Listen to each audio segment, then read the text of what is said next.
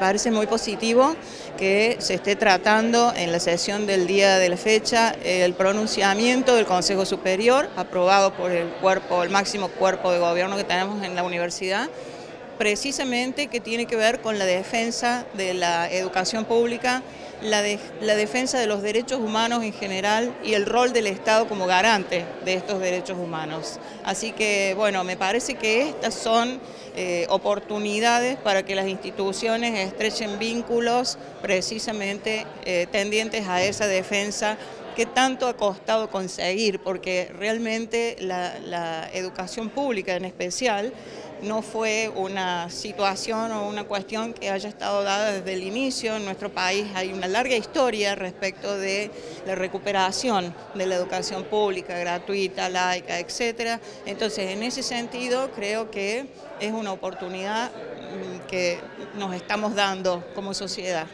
Y un respaldo contundente con el apoyo de todos los bloques. Eh, vamos a producir la sesión en este momento, así que yo estimo que sí.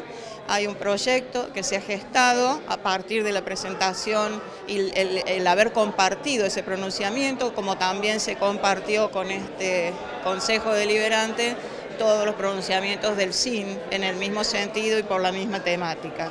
Así que eh, estimo que sí, que va, se va a producir el acompañamiento.